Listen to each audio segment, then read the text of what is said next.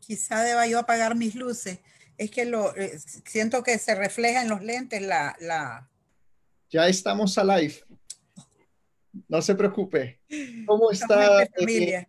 Eh, claro Estamos entre familia. Estamos entre familia, queridos amigos que nos están sintonizando a través de este Facebook Live, a través de Zoom también. Le damos la bienvenida a todos ustedes y agradecemos de antemano por los que han de participar más adelante, o sea, que van a ver este video más adelante cuando hayamos terminado.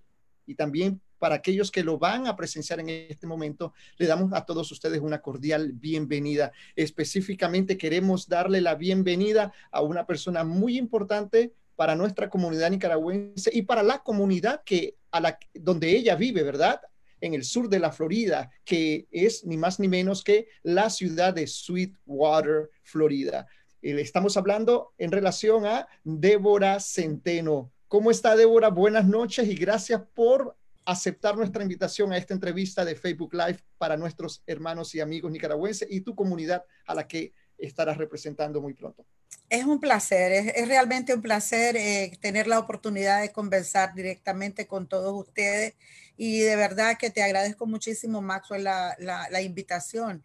A mí me encanta este tipo de, interacción con, entre nosotros los, seres humanos, diría yo, porque no importa la nacionalidad, eh, eh, lo importante es que podamos conversar, que podamos intercambiar opiniones, ideas y sobre todo pues que lleguemos a un punto de, entendimiento entre los seres humanos.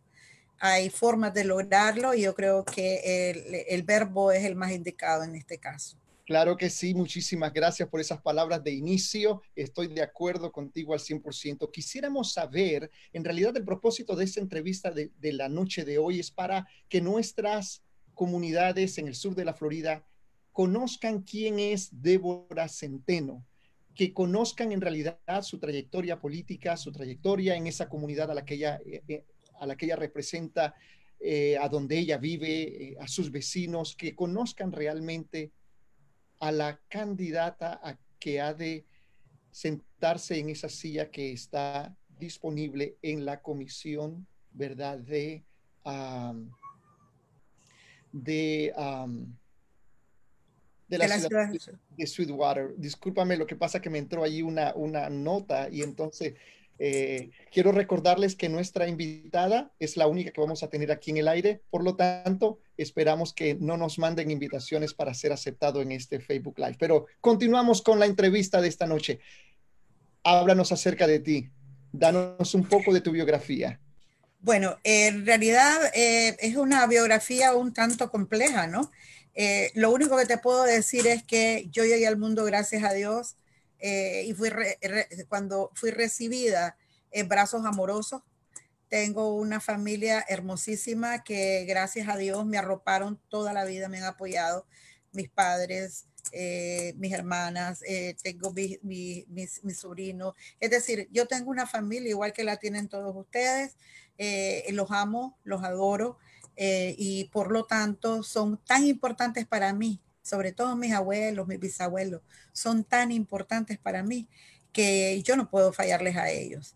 Y al no fallarles a ellos significa no fallarle a mis vecinos tampoco, porque hay que tener eh, integridad, hay que ser honestos en la vida y hay que hacer las cosas eh, basándose en, en, la, en, el alma. Yo ni siquiera digo el corazón, si el corazón lo que hace es empujar el, la sangre. la realidad es que es tu alma, es algo más etéreo lo que hay dentro de uno, que es lo que eh, establece tu calidad y tu cualidad de vida.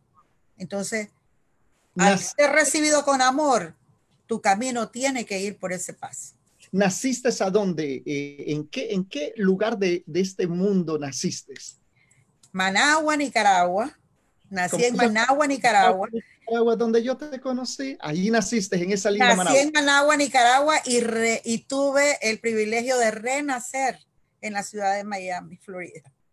¿Hace cuánto estás en esta, en esta comunidad a la, eh, donde tú vives? En, la... Sweetwater, el área de Sweetwater, eh, te digo el área de Sweetwater porque el área donde yo vivo no era Sweetwater eh, hasta el 2012, entre 10 y 12 eh, que se anexó a la ciudad de Sweetwater, pero vivo en la misma área por 27 años. por 27 largos 27 años. largos años. Estados Unidos hace cuánto tiempo? Hace casi 40 años, hermano. 40 años. no 40 todavía, pero ya estoy, que ya lo que me falta es poquito para llegarlo. Sí, sí, yo, yo vine, eh, yo soy de las primeras oleadas eh, en los años 80, 80 y pico en realidad, en los early, en los 80 tempranos que llegamos aquí y empezamos, eh, ya la, la, había la, la, la, primerita inmigración ya estaba aquí, entre las cuales estaba la mayor parte de mi familia que ya habían llegado. Y mm. nosotros llegamos después, un poquito después, porque por razones de trabajo de mi madre, mi madre eh, era la directora eh, nacional de la OEA en Nicaragua y fundadora de la Organización de Estados Americanos en Nicaragua. La OEA se fundó en la casa de mi abuelo, cuando eh, se fundó la Unión Panamericana. Ahí empezó eh, la Unión Panamericana, la Alianza para el Progreso, lo que después se constituyó en la Organización de Estados Americanos. Y estamos hablando en los principios en que la Organización de Estados Americanos era la Organización de Estados Americanos y estaba alineada al principio de libertad, al principio democrático, con el espíritu democrático con que la fundaron, no ahora que anda ahí como caminando en, áreas, en arenas movedizas, pero tuve el privilegio desde niña de tener el contacto directo con el panamericanismo y eso me dio una dimensión bastante amplia acerca de lo que es el ser humano, sus necesidades y sobre todo el, hombre como comunidad, el hombre comunitario, el hombre, el hombre eh, social, digamos, el ser humano que se integra a una sociedad. Yo recuerdo que mi abuelo, eh, él eh, nos ponía a mis hermanas y a mí a leer yo no sé si ustedes, cuántos de ustedes recuerdan aquellos libritos de la Alianza para el Progreso, donde te enseñaban hasta hacer letrinas, eh, te enseñaban a purificar el agua, te enseñaban una serie de cosas porque eso lo enviaban, se hacían paquetes enormes y luego se enviaban a las diferentes comarcas, comunidades, por muy recónditas que fueran, eh, recibían todo eso a, través de eh, la Unión Panamericana, la Alianza para el Progreso, que luego se constituyó en la la Organización de Estados Americanos. Entonces yo leía muchísimo, miraba muchísimo, eh, me empapé de las necesidades del ser humano y eso me formó. Querramos o no, eso me formó. Eh, eran, eran largas horas que ah, yo me comía esos libritos, a mí me encantaba toda la documentación, las revistas de las Américas y así aprendí a amar a todos los países del mundo y, y sobre todo los países latinoamericanos que eran los que yo estudiaba todos los días ahí en la oficina. Y, y te puedo decir, Maxwell, que eso me dio la dimensión para decirte que nosotros somos orgullosos de nuestra frontera, somos orgullosos de nuestra bandera, de nuestra cultura y debemos de serlo. Pero tenemos que estar claros también que no hay nada más enriquecedor que compartir, e integrar eso que nosotros tenemos con las otras culturas. O sea, la mía no es mejor que la tuya, la tuya es divina porque es tuya y la mía es maravillosa porque es mía. Entonces, compartámosla y si la logramos integrar, podemos hacer algo mucho mayor. Ese es el espíritu panamericano de antaño, no como el de ahora, que es el de tomar a todos los países, agarrarlos, empobrecerlos, embrutecerlos, eh, hacer, hacerles daño. en aquel tiempo las cosas eran diferentes y de esa escuela soy yo. Gracias a Dios tuve esa oportunidad. Puedo, por lo que puedo notar, corre por tus venas, obviamente sangre, ¿no? Como en todos nosotros, pero ese deseo de libertad, de justicia, de democracia y de defensa de los derechos humanos, no solamente para nuestro pueblo que sufre detrás de esas fronteras, más allá de la frontera norteamericana, sino también por aquellos ciudadanos que son tus vecinos y que forman parte de esa hermosa ciudad universitaria, la que llamamos Sweetwater. Así es. Así es, es que todo lo que tiene vida tiene derechos. Los animalitos, las piedras, todo tiene derecho. Y los seres humanos mucho más. Es decir, eh, cuando eh, nosotros nos comprometemos a vivir en comunidad, Si nosotros no queremos a los seres humanos, vámonos a una montaña, a un rincón y nos metemos en una cueva. O construimos un caserón y vamos a comprar solo lo, lo indispensable al, supermercado. Y apartémonos de los seres humanos pero cuando somos seres humanos y que eh, somos seres sociales que tenemos que ir a trabajar, que tenemos, estamos interactuando entre nosotros, estamos interactuando y eso te obliga a, a, dejar de ser un autómata. O sea, te invita, mejor dicho, a, a tomar dos posiciones, o te, te convertís en un autómata o te convertís en un ser humano eh, como Dios quiere y qué es lo que nos ha, dicho el Padre Celestial todo el tiempo a través de todas las religiones, a través de todas las misiones, a través de todos los profetas, a través de todos los enviados que he llegado, y digo de todos, de todas las religiones, ¿qué es lo que nos ha dicho? Te Amar, que los unos a los otros. Te escucho hablar espiritualmente y quisiera pasar ahora de tu biografía, de, tu, de, de lo que corre por tus sangres al ámbito espiritual. ¿Qué te parece? Vamos, vamos. Quiero que nuestra comunidad sepa quién es eh, Débora Centeno y cómo maneja eh, profesionalmente, humanamente y cristianamente todos los temas que se le puedan presentar en una entrevista como esta. Claro que sí. Denominación. Eh, mi denominación es católica. yo crecí en una familia extremadamente católica. Eh, tengo, tengo el privilegio de decir que mi padrino era Monseñor González y Robleto, eh, tío de mi padre.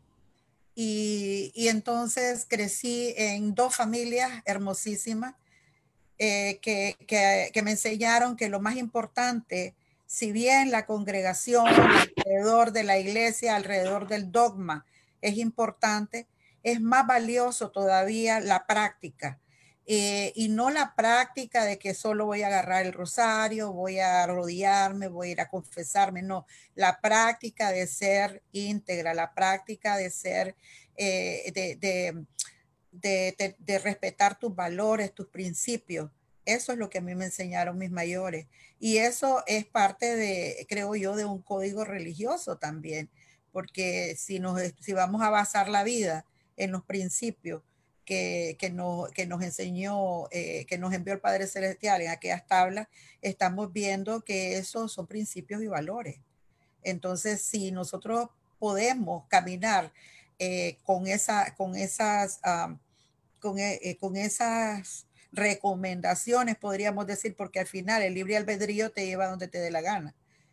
si nosotros podemos caminar con esas recomendaciones, pues estás encaminado a, a mejorar tu vida si el egoísta se diera cuenta lo importante que es eh, ser, eh, eh, compartir, el egoísta dejaría de ser egoísta. ¿Por qué? Porque el egoísta quiere lo mejor para él y al compartir va a recibir el triple para él. Entonces, esos principios interesantes, digamos que hasta cierto punto un tanto filosóficos, eh, me fueron inculcados desde niña y me fueron inculcados con la, con la práctica. Yo no soy una santa, yo cuando tengo que ser fiera soy fiera, obviamente, pero eh, sí hay un límite en, en, mis actos, hay cosas que yo no, en las que yo no voy a transigir nunca porque van a ir en contra de esos principios. Y yo le doy mucho más valor a la bolsa espiritual que a la bolsa física que a la bolsa monetaria, que a la cuenta de ahorro. Yo prefiero tener la cuenta de ahorro vacía y tener mi conciencia limpia y tranquila, porque uno nunca sabe si cuando yo salga de la puerta o aquí dentro de mi misma casa, me voy, el, el, papachú me va a decir, vámonos. Entonces, hay que vivir preparado.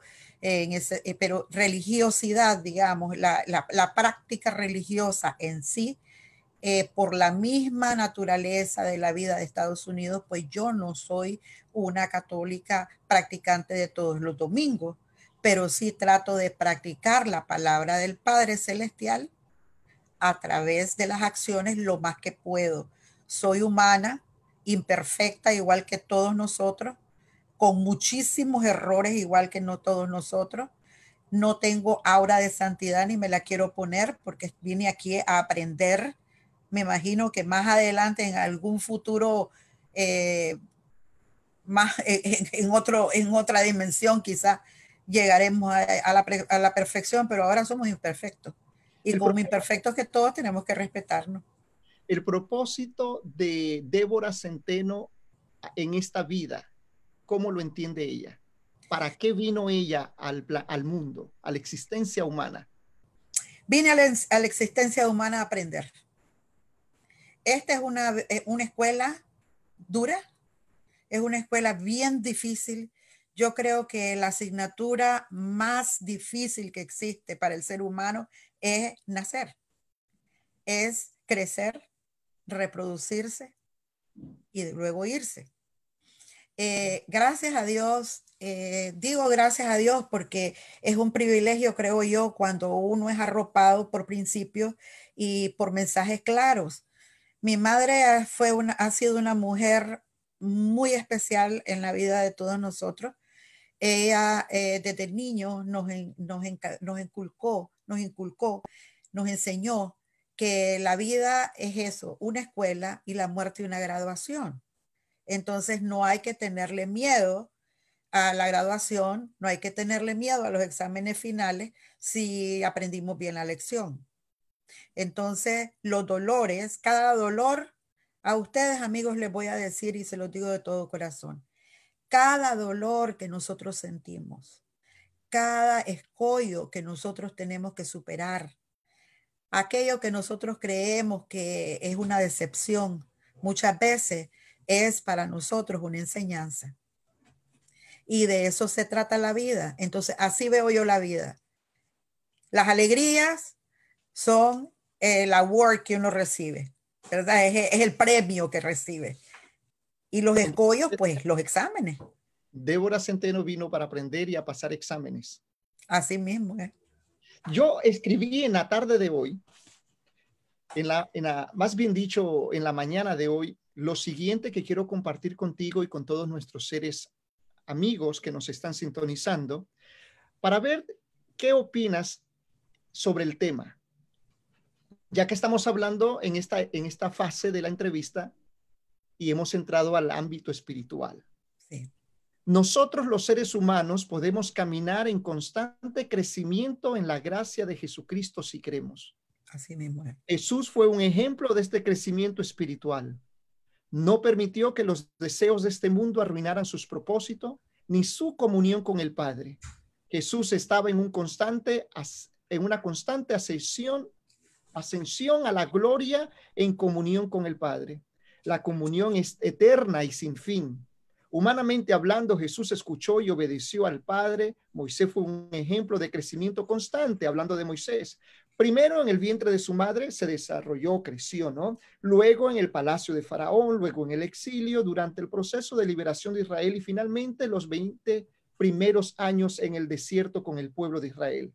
Aprendió a escuchar la voz de Dios y a poner en práctica lo que Dios le exigía. Aunque cometió un acto de desobediencia y aprendió la lección, como Jesús, Moisés nunca dejó de crecer en la gracia de Dios. Como mencionó un escritor una amiga, el, también creo, decía la amiga, lo que dice el San Gregorio. La perfección constante es el aumento del crecimiento del deseo de ver a Dios. Cuanto más nos perfeccionamos en nuestras vidas, más nos acercamos a Jesús. Lo que nos lleva a nuestra transformación, que finalmente nos lleva a Dios y a las bendiciones eternas. Cuanto más nos acercamos a Dios, más lo anhelamos y más queremos estar en su presencia, más nos perfeccionamos y nos hacemos como Él en sus virtudes. La perfección no es estática, es una continua exploración de la respiración de Dios. Nunca termina y es la encarnación con Cristo. Cuanto más cerca estaba Moisés de Dios, más brillaba su semblante. Esa fue su experiencia y esa debería ser la nuestra. ¿Qué opinas al respecto? Estoy totalmente de acuerdo. Es más, te voy a decir una cosa, es hermosísimo ese escrito. Eh, mientras más cerca, mientras más cerca estás de Dios, mejor dicho, estás más cerca de Dios a medida que vas comprendiendo y vas aprendiendo que el lo mismo que cada escollo cada caminar tuyo te puede acercar o te puede retrasar, te puede apartar. Eh, acercarse, eh, para mí, el, camino a la realización está lleno de la comprensión de uno mismo. Está lleno de análisis de uno mismo. Porque eh, yo puedo agarrar hoy una bolsa de dulce y ponerme en la esquina y dárselo a todas las personas que, que, lo, que necesitan, digamos, no de dulce, de galletas. Voy a repartir galletas a todos los, los desamparados.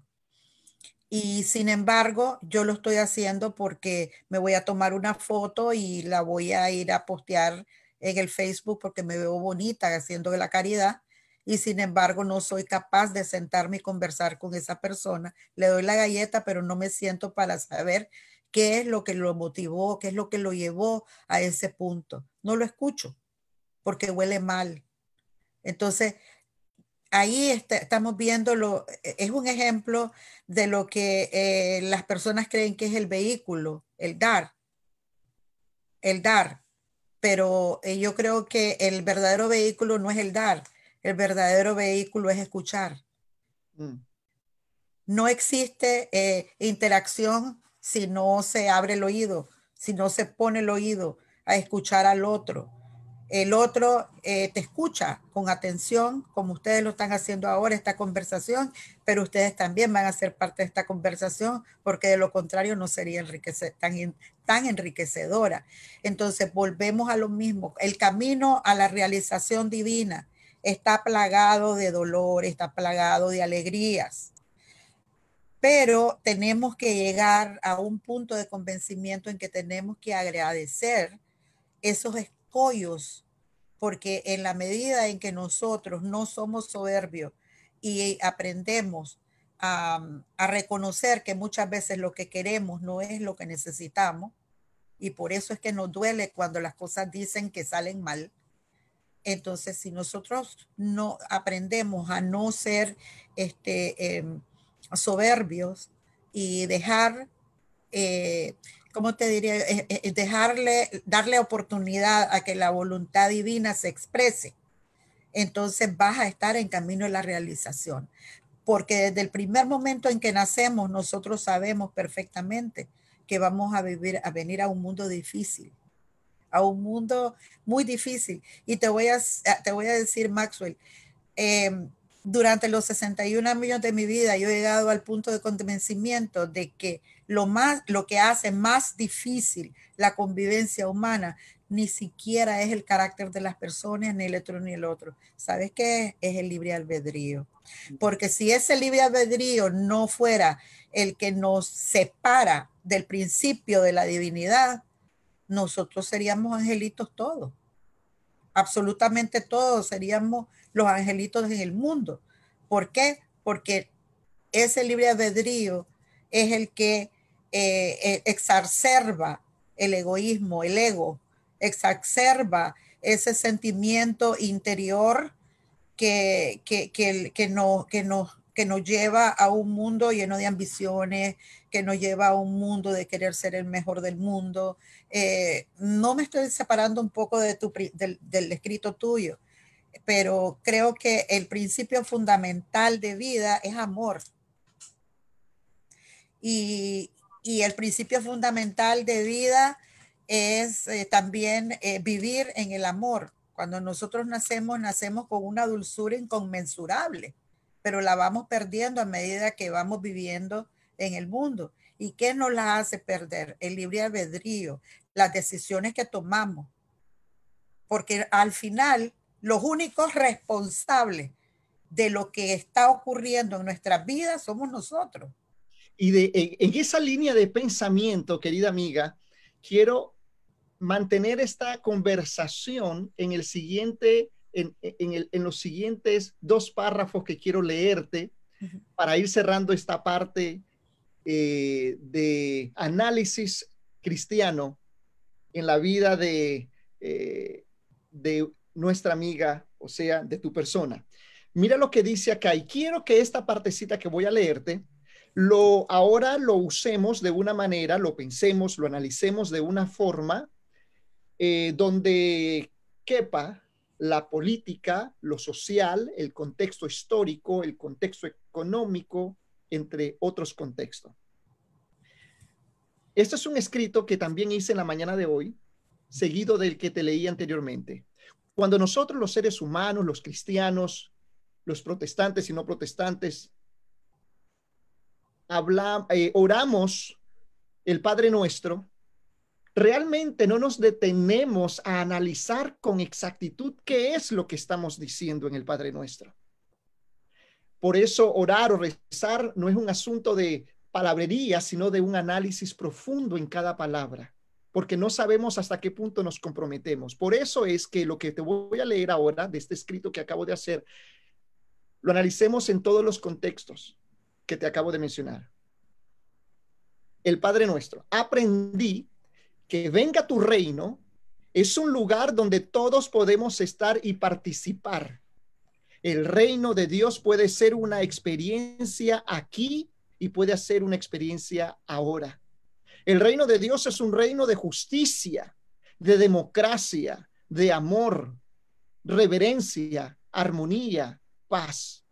Desde el cielo, Dios vigila las violaciones de los derechos humanos ve las cosas por las que los huérfanos, los sin techos, las viudas tienen que vivir. Dios nos llama a practicar todas estas cosas buenas aquí en la tierra mientras que es nuestro turno de venir a su presencia. Como los reyes del Antiguo Testamento, Dios quiere que llevemos la justicia a los pobres, restaurar los derechos de las viudas y defender a los huérfanos, liberando así al mundo de sus principios injustos debemos recordar que seremos juzgados por la ley de la libertad. Ya sea que hayamos hecho el bien o ya sea que hayamos hecho el mal, todos compadeceremos ante el tribunal para recibir nuestra recompensa como lo hemos hecho en esta tierra. Un escritor, Boff, declaró, la adoración que Dios quiere es la justicia y la liberación de los oprimidos el Dios viviente, más que ser un Dios de adoración, es un Dios ético, que a pesar de la iniquidad, se regocija con, con los justos. El reino define la última y final voluntad de Dios. Este mundo es el que vivimos y sufrimos. Está lleno de su, está llegando a su fin habrá un nuevo cielo y una nueva tierra donde la justicia, la paz y la concordia entre todos los hijos e hijas de Dios triunfarán finalmente en la gran casa del Padre. Tu reino vendrá, también dice el, el, Padre nuestro, venga tu reino y hágase tu voluntad. Se hará, e, estas dos frases están entrelazadas. Así que cuando rezamos a Dios estas dos frases, lo que realmente decimos es, Dios, que los deseos de tu reino se hagan realidad en nuestras vidas. Úsanos para llevar a cabo los propósitos del reino en la tierra. El mismo escritor Bob dijo, nuestra historia humana se resiste a ser conformada a la voluntad de Dios. La justicia parece ser silenciada, los ricos se enriquecen y a expensa de los pobres, cada vez más reducidos a una especie de combustible para los procesos de producción de las élites económicas y sociales. Solo las élites tienen una vida planificada. La gran mayoría no hacen lo que les gustaría hacer o para los que son aptos, sino lo que ha sido determinado de ellos por su estatus social. Hay una protesta atronadora y silenciosa que se eleva al cielo provocada por los por es, por todo este sufrimiento, la opresión de la humanidad, los poderosos a espalda de los débiles. Rezar hágase tu voluntad implica la capacidad de salir de sí mismo, crecer en el poder del amor de Dios a pesar de la mala voluntad humana y tener confianza en que la malicia humana puede ser vencida por la misericordia divina la liberación, termino, de la creación y su máxima extensión es la voluntad inmutable de Dios. Jesús no solo proclamó esta voluntad de Dios, sino que la transformó en realidad por las cosas que hizo. En este sentido, cierro paréntesis, en este sentido, dice su servidor, Dios nos invita a permitirle hacer su voluntad a través de nosotros en su reino, sea en esta tierra como en el cielo. Maxwell, nosotros somos un templo divino nosotros somos un templo divino. Y si vemos bien la parábola del, templo, te lo dice. Eh, a medida que nosotros le vamos echando las piedritas que van haciendo, eh, que, que, vayamos siendo cada vez más injustos. Mientras más, mientras más nos apartamos del principio fundamental espiritual, que es el amor, mientras más nos apartamos de ese principio fundamental, más sufren los pueblos. ¿Por qué? Porque nos vamos endureciendo como humanidad, nos vamos haciendo más egoístas, nos vamos eh, encerrando en ese, en ese, en ese deseo increíble, de, la, de ambicioso de, de ser un Dios, sin darnos cuenta que ya lo somos. Porque al ser imagen y semejanza divina, somos seres divinos pero podríamos ser mejores. Venimos aquí porque todavía nos falta para, alcanzar esa realización eh, total y eh, divina. Entonces, ¿qué pasa? Que a medida que el ser humano se va separando de los principios de la divinidad, que el Padre nuestro te lo dice, se va separando de la humildad. A medida que vas, vas dejando la humildad guardada en la almohada y te vas a la calle y te pones la coraza eh, del, ser duro, que no me importan los demás, siempre y cuando las cosas ocurran como yo quiero que ocurran. Los pueblos sufren. ¿Es esa humildad, es esa humildad que le hace falta a muchos políticos hoy en día? Totalmente. Eh, hay, hay una tendencia, hay una tendencia, eh, antes de entrar en eso, fíjate que hay una cosita que me gustaría dejar, dejarte así, una frasecita para pensar. El ser humano mientras más ecuménico se vuelva, más cerca está de Cristo, más cerca está de los principios divinos. ¿Me explico? ¿Por qué? Porque a veces el, el, católico dice mi religión es la mejor. El bautista dice, no, la mía es mejor. El Jehová dice, no, no, no, ustedes no saben nada. Aquí es donde está la verdad y los otros dicen, no, aquí está la verdad. Y después vienen las filosofías orientales y aquí está la verdad. Cuando la verdad la tenemos aquí, conectada el cielo con la tierra. La tierra somos nosotros y el cielo es la divinidad. Entonces, mientras más ecuménicos nos volvemos, más cerca estamos de la divinidad. ¿Por qué? Porque vamos perdiendo el ego, vamos dejando el egoísmo, vamos dejando todo ese lastre que, le va, que nos va dividiendo y que nos va convirtiendo en seres sectarios en vez de ser seres comunitarios. Ahora que te escucho decir esto, ahora que te escucho decir esto, termino esta, esta sección y vamos a lo que realmente nos importa en los próximos minutos que tenemos aquí adelante que es sobre la ciudad de Sweetwater y su política, a la que tú vas a representar, primeramente Dios, la divinidad, así lo permita. Y nosotros los nicaragüenses, los seres humanos y las otras demás comunidades alrededor de la ciudad, o dentro de tu ciudad, mejor dicho, eh, eleven esa voz para que puedas llegar hasta allí. Termino con esto, más bien con una pregunta. Débora Centeno, si llegara a sentarse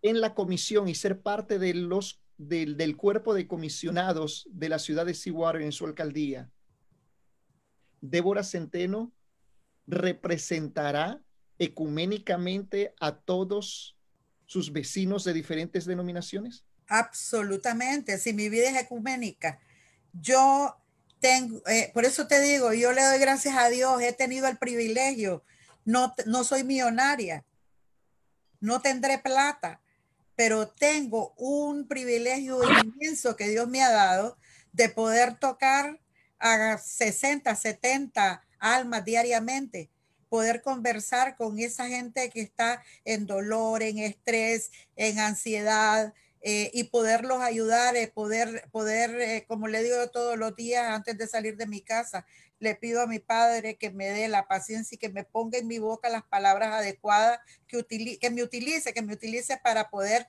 eh, ayudar a alguien. Entonces ahí te das cuenta que ahí no hay, no hay diferencia. Es que hasta el, hasta el ateo tiene alma y ese hombre que no reconoce en este momento ese principio fundamental de la creación, que es el principio divino del amor del Padre, ese mismo hombre es un ser que también merece el respeto porque es divino a pesar de con todas sus imperfecciones. Entonces, ¿cómo no voy a ser ecuménica si yo respeto la dignidad humana? Si mm. respeto las creencias de todos los individuos, hasta el que, hasta, hasta el, hasta el que me parezca más horrible, el hecho de que yo no comparta lo que, lo, que, lo, lo que él piensa no significa que para él no es válido a lo mejor si me acerco y comenzamos a conversar, comenzamos entre los dos y abrimos la mente, es posible. y el entendimiento y a lo mejor deja de hacer esas cosas que no, que lo están apartando de donde debe de estar. Pero sí, sí soy ecuménica y eso sí se los puedo garantizar, que el respeto lo tienen todos. Y te voy a decir una anécdota bien pequeñita. Yo sé que estamos bastante limitados en el tiempo, pero cuando yo era concejal, eh, tuvimos un caso ético muy importante.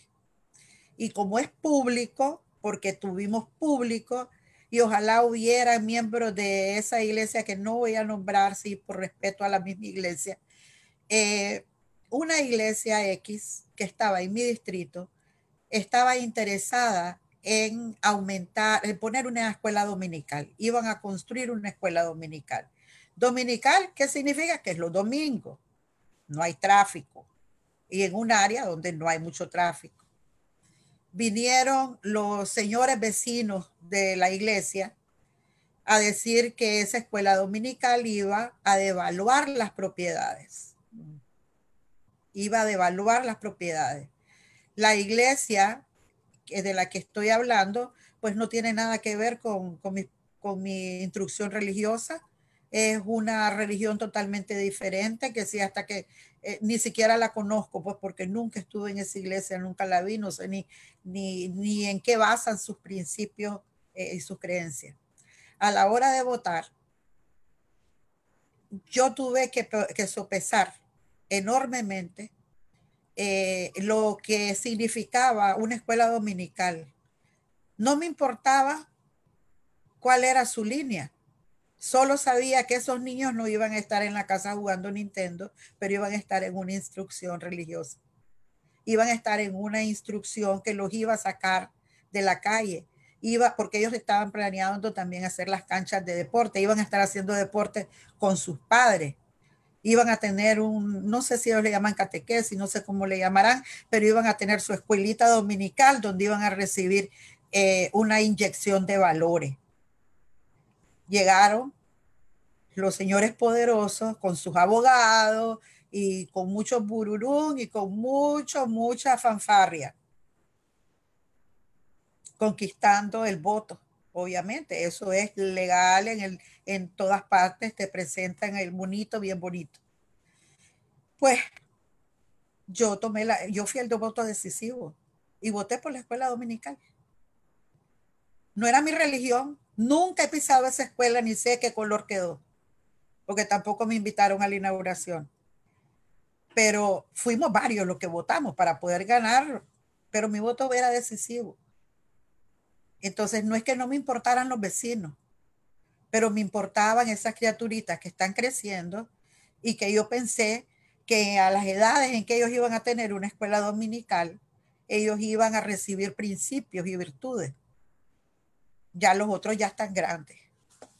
Entonces, ese fue mi criterio. Entonces, ahí te respondo que yo soy una persona eh, totalmente ecuménica, respetuosa de eso.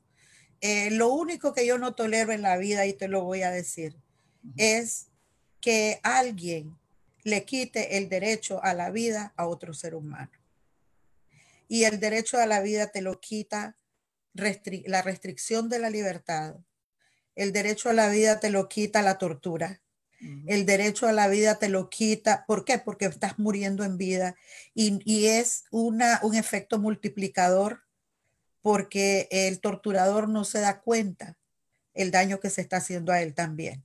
Entonces, cuando hay una tortura, estás torturando, estás haciendo daño a la víctima, a la familia de la víctima, y lo peor del caso es que te estás haciendo a uno mismo, a vos mismo, te estás haciendo daño. Entonces, yo creo en eso, eh, creo en el valor de la vida, el respeto a la vida, creo en el debate, creo en el intercambio de ideas, pero no en la imposición de ideas. Creo en la libertad total y absoluta del ser humano, pero con orden. Con orden para no hacerle daño a los demás. Y yo añadí, añadiría eso y con justicia.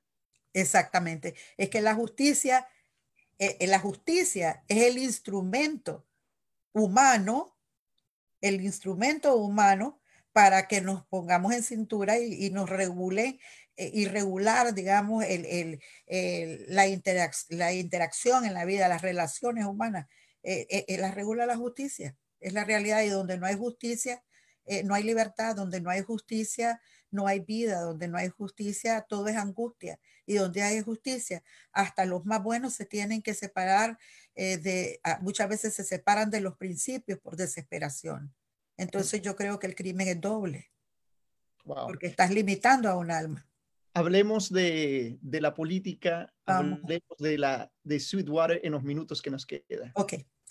Bueno. Sweetwater, Sweetwater para empezar, es, forma parte del Miami-Dade County, ¿es correcto? Sí, correcto, Estoy diciendo, y está situado en la ciudad de, en el estado de la Florida, en Estados Unidos, y alrededor del 2010 tuvo una, según el censo, el censo tuvo una, una población de 13.499.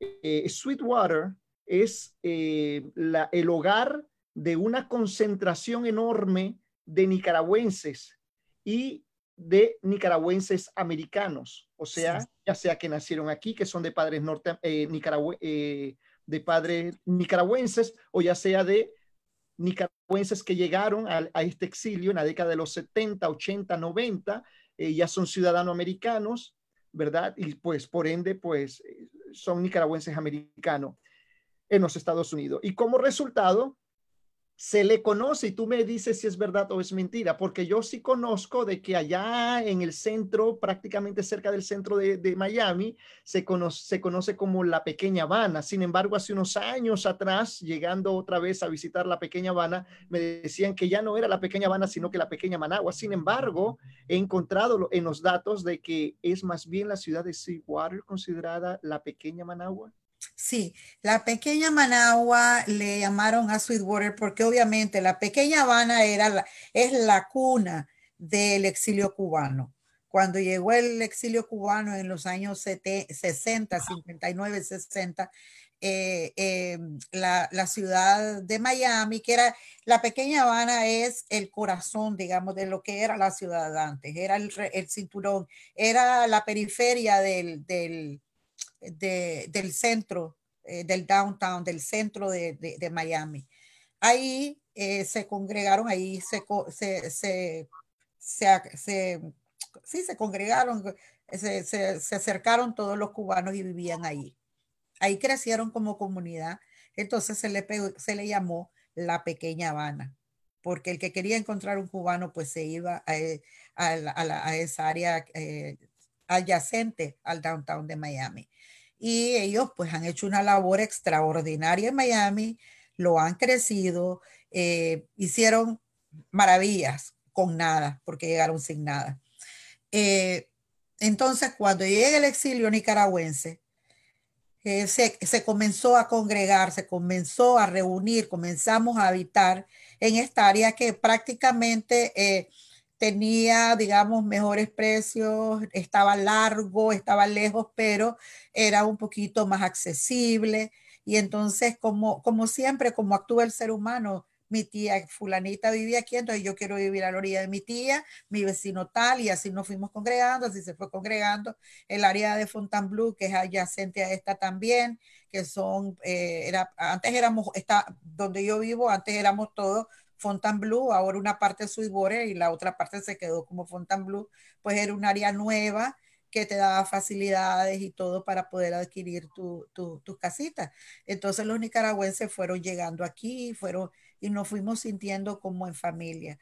Solamente ah, porque también tengo entendido que Doral, está Miami y University Park también está aledaño o cerca o a los alrededores de Sweetwater. También es que Sweetwater fue pequeñito. Ahora Sweetwater es más grande. El área donde yo vivo se incorporó a la ciudad en el año 2011, 2012.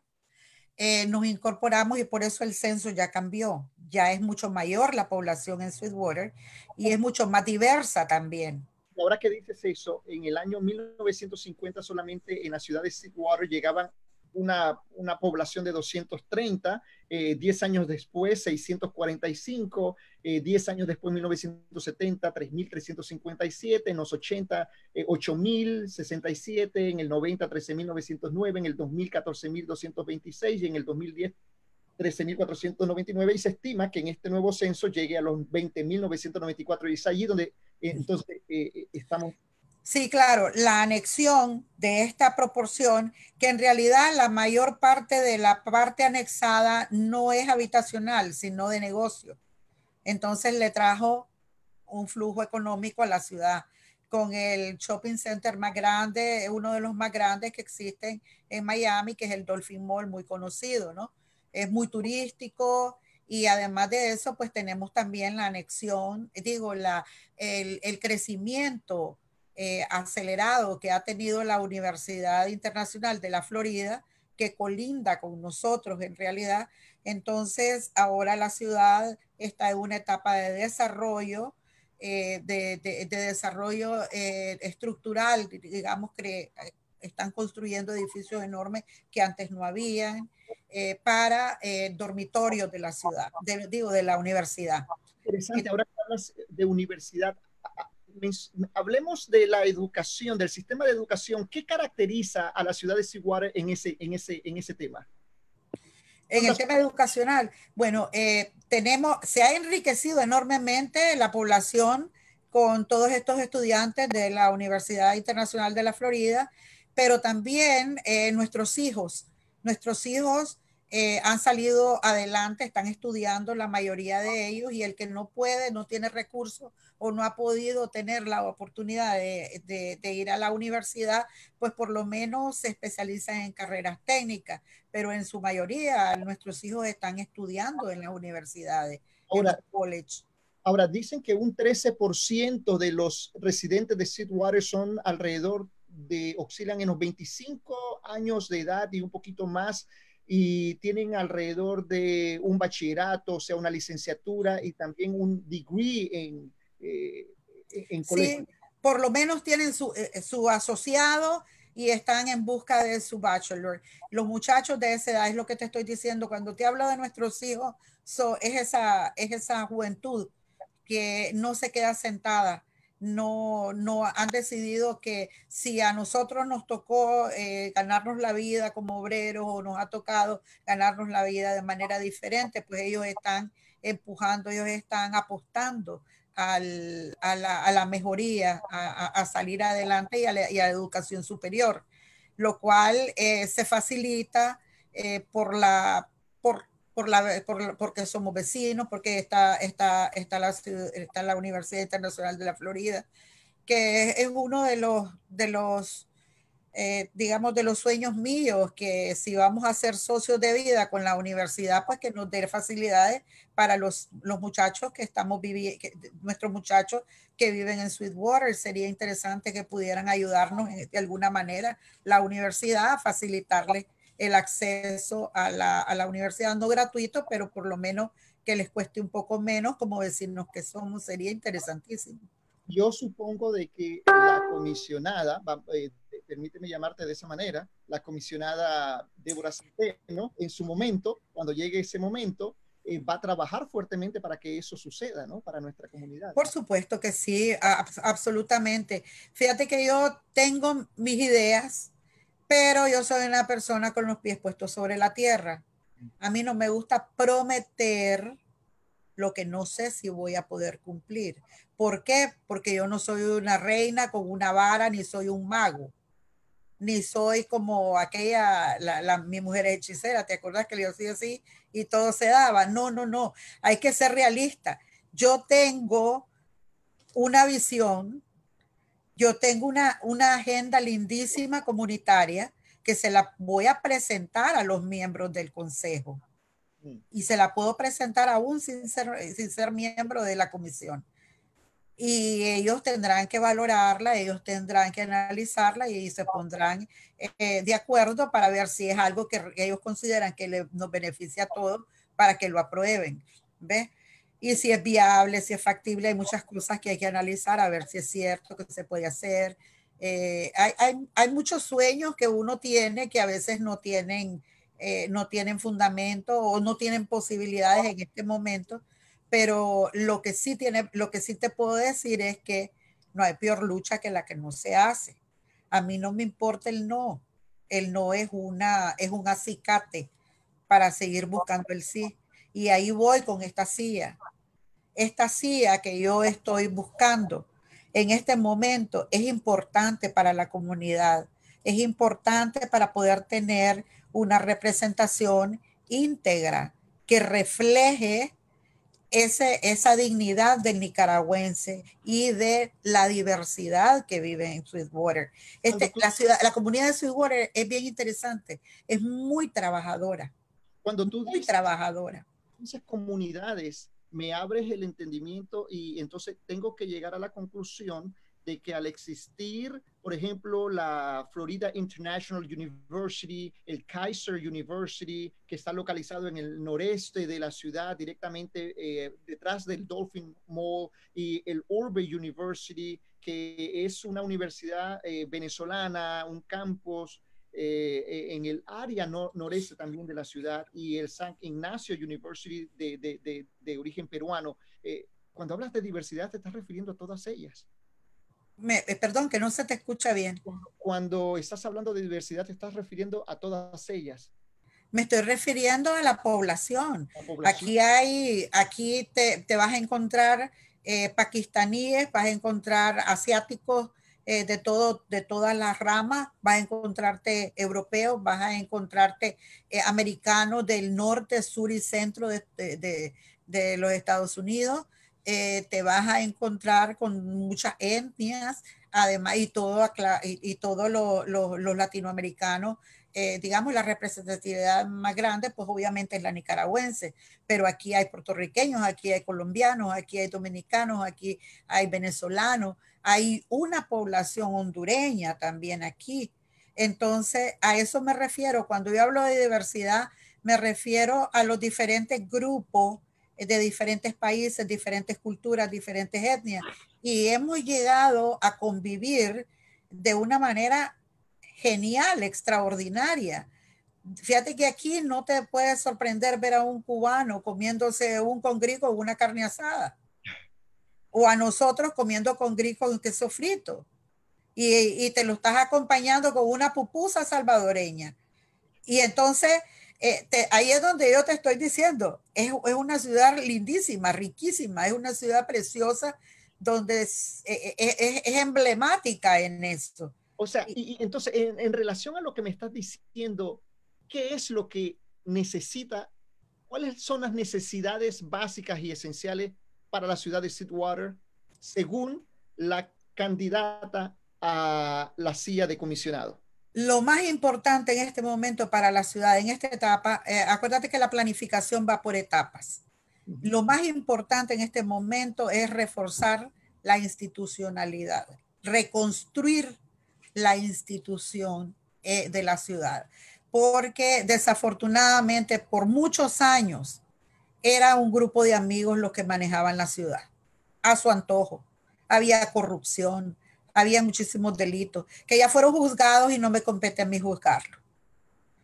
Sí, luché contra eso, pero ya cuando las autoridades se metieron, ya el caso es de ellos y como en Estados Unidos la justicia funciona y las autoridades no son bobas, pues hasta ese alcalde, hasta el que estaba dirigiendo la ciudad, pues tuvo que pagar las consecuencias de sus actos. Entonces, ahora la ciudad ya es completamente diferente.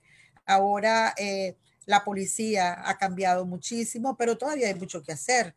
Eh, la, misma alcaldía, eh, la municipalidad en sí, la municipalidad está trabajando mucho mejor, pero hay mucho que hacer. Yo creo que hay que reforzar la, alcaldía como una institución y que se dejen, perdóname un momentito, porque esto es importante para llegar al punto en que nos encontramos nosotros como comunidad, o sea, la comunidad nicaragüense. Eh, y como nos encontramos la comunidad centroamericana, los que no tenemos representación allá adentro. Eh, nosotros necesitamos eh, así como nosotros, yo lo veo desde este punto de vista, así como la población se entiende en las calles, nos entendemos en el supermercado, nos entendemos eh, y hemos aprendido a comer eh, de, todas las nacionalidades y hemos aprendido a convivir y, y mi vecino es cubano y el otro es puertorriqueño y todos vivimos juntos. De esa misma manera creo que la comisión tiene que reflejar el espíritu de esa población.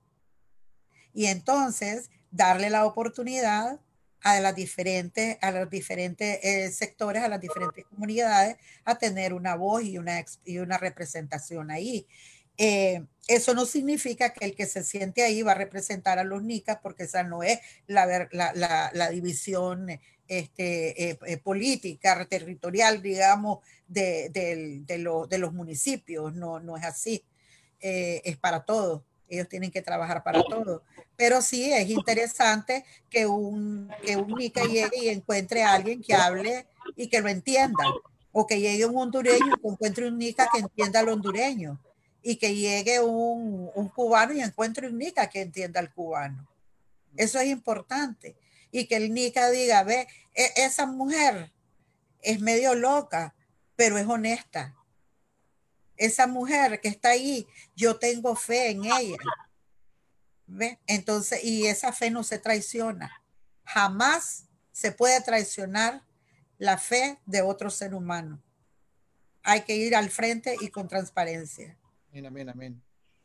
Ah, para ir finalizando nuestra entrevista de esta noche, el actual alcalde, eh, eh, cito, cito lo que salió en el diario Las Américas el martes 14 de mayo, el actual alcalde dice, considera que durante los cuatro años de su gestión, el municipio logró avanzar pese a los obstáculos que asegura enfrentó en el seno de la comisión. Esto es del año pasado previo a su reelección, ¿no? Dice él, inclusive en enero del 2019, cuando hice la propuesta de continuar arreglando las calles porque tenemos el dinero en el presupuesto, la comisión no me permitió hacer los arreglos y dijo que no podía hacer nada hasta después de junio. Estoy asumiendo que habrá una comisión nueva, tres concejales nuevos y que van a trabajar en mi oficina para promover mejores servicios a los residentes porque hasta este momento hay muchos de los concejales que están preocupados por su carrera política y no por las los residentes, afirmó el afirmó López. Otros de los retos es la recolección de basura en la ciudad. ¿Se ha logrado la, la recolección de la basura en la ciudad? Esos retos de los cuales el alcalde actual eh, habla en relación es algo que se ha eh, visto que se, que, se le ha dado el apoyo. ¿Llegarás tú a darle el apoyo a, al, alcalde de la ciudad? Es que te, voy a, te lo voy a, a parafrasear, digamos. Eh, no es al alcalde al que le llegaría a dar el apoyo. Yo le daría el apoyo a la, a la comunidad. El alcalde a lo mejor tiene el dinero suficiente para pagar la recolección de su basura, pero ¿cuántos vecinos pueden pagarle a un camión que se la venga a botar? No pueden porque están pagándole ya los impuestos a la, a la municipalidad para que se la llegue a votar. Entonces, no eh, hay, hay proyectos que son tan importantes para la comunidad que no hay como decirles no, pero sí hay que analizar si no hay algún algo de, en los trasfondos. Hay que verlo no en blanco y negro, sino con prismas y de colores y analizarlo y verlo bien, qué es lo que le conviene a, la, a, la, a, los vecinos.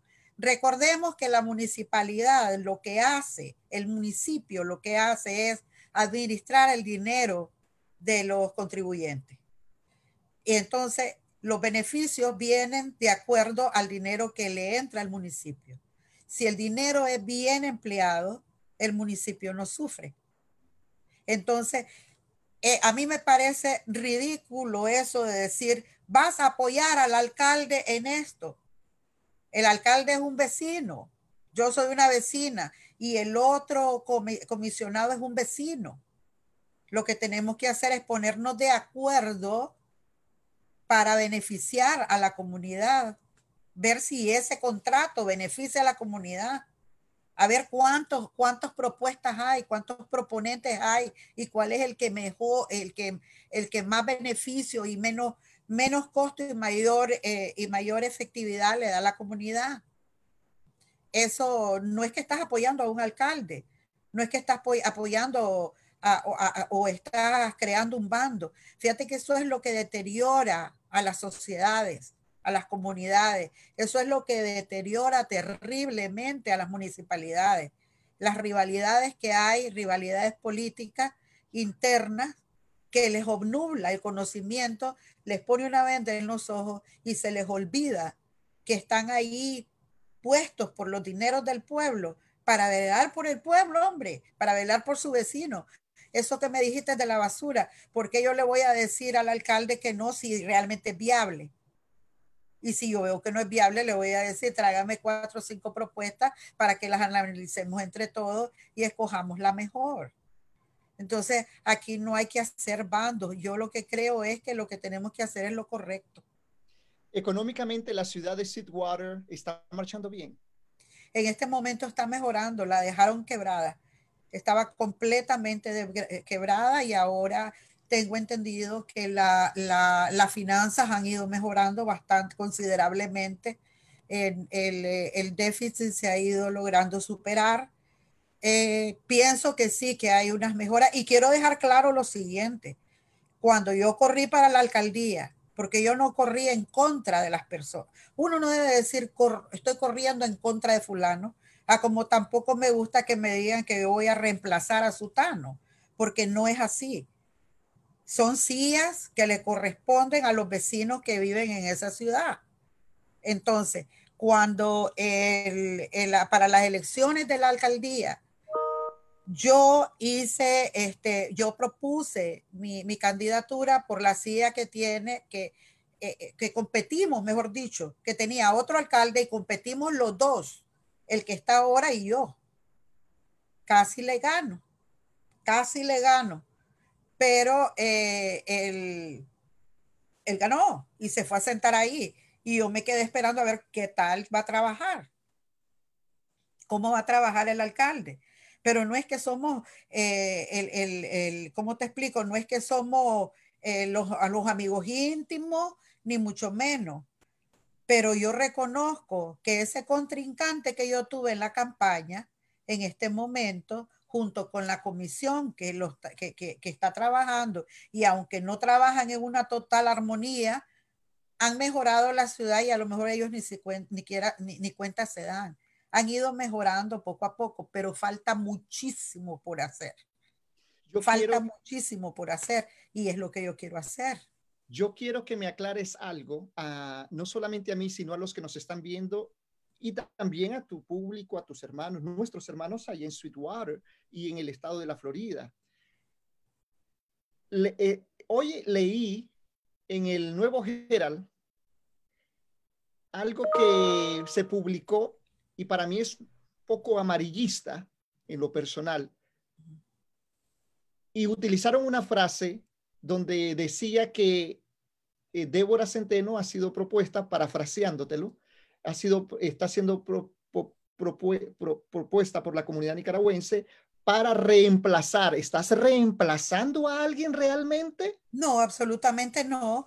Eh, acuérdense de una cosa. Eh, para reemplazar a una persona o a otro ser humano, pues hay que ser más o menos tener los mismos denominadores comunes y este no es el caso. Para empezar, yo sí vivo en Sweetwater. Entonces yo no estoy reemplazando. Quedó una vacante por, por razones que todos conocemos. Hay una vacante y yo estoy proponiéndome para la vacante porque creo que esa vacante merece un rostro que sea capaz de dignificar a la población, que sea capaz de, representarlos con integridad, que es lo que ellos, es lo, lo que, por lo que ellos votaron. La gente que votó por esa silla, incluyendo mis hermanos nicaragüenses americanos, los que votaron por esa silla, votaron por la integridad, votaron por el cambio que hemos venido buscando y trabajando durante muchísimos años en la ciudad de Sweetwater. Antes en la ciudad de Sweetwater ni siquiera la gente ni pensaba en correr. ¿Por qué? Porque ya sabían que iban a perder. ¿Y sabes qué hice yo? Estoy hablándote del año 2011, creo que fue la primera vez. 2011. Yo decidí romper con ese círculo. Sabía que no iba a ganar porque había mucha corrupción, manipulaciones, eh, muchísimo, eh, muchas eh, alegaciones de manipulación de votos, etcétera. Incluso algunas personas salieron involucradas y la fiscalía tuvo que ver, etcétera. pero para mí lo importante era romper el cerco, elevar la voz porque no es lo mismo que yo salga con, una, con un megáfono a gritar en la esquina y todo el mundo va a cerrar las puertas, cerrar las cortinas, porque hay una loca gritando en la esquina, a que llegue una candidata a tu casa, te toque la puerta y te haga, y, que te cuente lo que está pasando, te incentive, que te estimule a darte cuenta de lo que está pasando con tu dinero, que te estimule y que te diga que hay una vía de escape, eh, de esa situación que estábamos viviendo, que no tuvieran miedo a denunciar, porque aquí había un terror espantoso a denunciar. Era, era un estado botín, era una, era una ciudad botín. La gente tenía miedo de denunciar las cosas por temor a represalias de la policía, temor a represalias de, de, la, de, la, de, la, de, los, de los funcionarios públicos, etcétera. Porque a ese nivel estaba Sweetwater. Estaba terrible. ¿Y qué pasó? Que la gente aprendió a hablar. O sea, pero no es que aprendió, es que perdió el miedo. Se descorrió la cortina. Y eso para mí es un logro. Ese es un logro más grande que cualquier ah, eh, eh, edilicia, que cualquier, que cualquier eh, aplauso y cualquier award. La gente en Sweetwater perdió el miedo y lo demostró, en lo, ha, lo, ha, ido demostrando en las elecciones. Y en las elecciones pasadas dijeron queremos cambio. Ellos utilizaron un voto castigo que favoreció a la candidata. Y ese voto castigo está ahí, está ahí y está esperando a ver qué es lo que la comisión que está en este momento va a hacer y va a determinar que si ellos van a continuar con el amiguismo, si quieren ir en esa vía o si quieren darle oportunidad a la dignidad, darle oportunidad a lo que la gente quiere, que es integridad. Respetar sobre todo ese voto que ya fue dado en tiempo pasado en las elecciones pasadas. Por supuesto, ese voto, ¿cómo no lo vas a respetar si ese voto es un voto que eh, eh, expresa la opinión? Es una voz, el, un voto es una voz. Y esas voces se levantaron para decir queremos cambio, no queremos más de lo mismo. O sea, que lo mismo implica no, no componendas. La gente quiere transparencia. Quiere decir que si la comisión este 14 de septiembre, que es el próximo lunes, no llega a una decisión, nos vamos a, unas elecciones. A elecciones. Y yo te voy a decir una cosa, eh, con el olfato que uno tiene por los años de experiencia, etcétera, creo que vamos a ir a elecciones. Sweetwater, oyéndote decir eso vamos culminando, Sweetwater tiene mucho que ofrecer por lo que veo y mucho para hacer, queridos amigos y hermanos que nos están sintonizando a través de este hermoso, hermosa entrevista y conversatorio con eh, Débora Centeno, eh, candidata para sentarse en la silla vacante de la comisión de la alcaldía de Sweetwater, no solamente eh, para promover eh, la ciudad universitaria, sino para hacer cambios, para hacer un trabajo digno de su comunidad. Eh, por lo que vemos, está capacitada, es muy ecuánime. Hay algo muy importante, Maxwell, que les quería decir a los amigos que nos están escuchando y entrando en el tema que nos afecta internamente a casi todos nosotros, a los nicaragüenses americanos, a los venezolanos, a todos los exiliados que tenemos aquí, a los atormentados, porque es un tormento estar fuera de tu patria, dejar a tus, a tu, ¿cuánta gente no tiene sus hijos en sus países y están aquí por razones diversas? Pero aquellos que estamos aquí, eh, independientemente de las razones, independientemente de las razones por las que estén aquí, yo quiero que ellos sepan que tienen en mí a una persona que los va a apoyar, que los va a escuchar, que los va a acuerpar y que va a ayudar sin mentirles, sin mentirles. Voy a, voy a ayudarles en la medida de lo posible hasta donde lo permita eh, eh, las leyes, hasta donde lo, lo que sea legal. Pero hay algo muy importante para los países atormentados por el comunismo, por la por la, mejor dicho, por los grupos corruptos, porque ni comunistas son. Pandillas corruptas. Las pandillas corruptas que se crearon en el foro de Sao Paulo. A todos esos les digo que tienen en mí una luchadora incansable, incansable, y que cualquier, y cualquier llave que yo tenga en la mano la voy a utilizar para proteger la libertad, la dignidad y la democracia de nuestros países, porque nada me daría más gusto a mí que poder decir, este fin de semana voy a ir a Pochomil.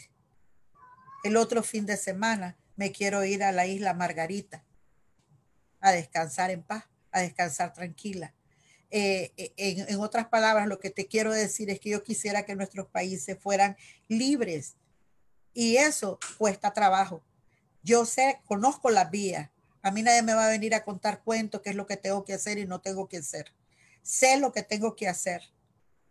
Y si yo logro obtener una llave para abrir una puerta, la voy a utilizar. Pero quiero dejarles claro que la municipalidad no es el lugar para hacer la política. La municipalidad eh, no es un lugar para hacer política. Ahí se, ahí se administra ahí se administra, ahí se vela por los intereses de esa, de esa, ciudad. Pero fuera de ahí, con las amistades que uno logra ganar estando en uno de, esos, de esas posiciones, sí se puede, se, puede, se puede hacer mucho. Se abren puertas y se puede hacer un cambio. Y hasta gobiernos se pueden votar. Muchísimas gracias, Débora Centeno, por permitirme tener esta entrevista contigo en la noche de hoy. Muchísimas gracias por tus palabras. Te deseamos éxito, lo mejor de lo mejor. Nuestras oraciones de nuestra comunidad, este su servidor, sea para ti, para tu familia, para tu comunidad. Y esperamos en el Señor que seas bendecida como lo has, sigas siendo bendecida como lo has sido hasta ahora. Un minuto, últimas palabras para tu público. ¿Por qué Débora Centeno? Muchísimas gracias, Maxwell, por esta oportunidad. Y a todos ustedes, amigos, acuérdense que no hay nada más lindo que sacar de adentro lo que uno tiene. Es importante que ustedes me hagan preguntas. A mí me gustaría saber qué es lo que usted opina. Y si no me quiere, también dígamelo, porque de esa manera, y si me pone también su teléfono, si no me quiere, y me regala su, eh, y me da el, el eh, me hace el favor de ponerme su teléfono, yo lo llamo para que usted me diga en privado por qué es que no me quiere. Y si lo quiere decir en público, también diga lo que yo estoy dispuesta a todo. La difamación muchas veces es el aplauso, dependiendo, es un aplauso dependiendo de quién venga. Entonces, yo eh, lo que les quiero decir es que para, para retener esta silla en la comisión de la ciudad de Sweetwater, como todos nosotros queremos, lo que tenemos que hacer es llamar a los comisionados. Es importante que ellos vean que ese votante se esté expresando, que esa comunidad que puede eh, decidir el destino de un escaño, que se pronuncien, para que ellos eh, sepan qué es lo que ustedes quieren. No a gritos, porque a gritos la gente no se oye, no se escucha. Son importantes las, las demostraciones populares, pero créanme que con un papelito que usted mande, que usted diga, apoyo el, el, nombramiento de Débora Centeno para la comisión, nada más, fulano de tal, y usted lo lleva a la ciudad de Sweetwater o lo manda por correo, ya creo que quizás no haya tiempo de correo, pero sí un correo electrónico eso tiene un peso extraordinario. Usted no tiene la menor idea el valor que tiene su firma, el valor que tiene su nombre. Eh, y de esa manera es que nosotros empezamos a aprender, a hacer la calistenia de cómo se, eh, cómo se hacen cambios en la sociedad norteamericana. Aquí sí vale la palabra. Para todos aquellos hermanos nicaragüenses que me están escuchando desde nuestra tierra sufrida, herida, ensangrentada, no pierdan la fe. Nosotros nunca los hemos olvidado. Y yo les puedo garantizar que mientras yo tenga un hálito de vida, ustedes van a estar no solo en mis pensamientos, pero en mis planes y en mis acciones. Yo no me olvido del pueblo, yo no me olvido jamás de dónde vengo.